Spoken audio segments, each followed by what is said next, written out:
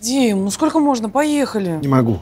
У Мартина похитили племянницу. Я не брошу тебя, Мартин, в такой момент. Ну поехали с Мартином. Книжки везде читать можно. Правильно, поехали. Спасем племянницу. И Настасью.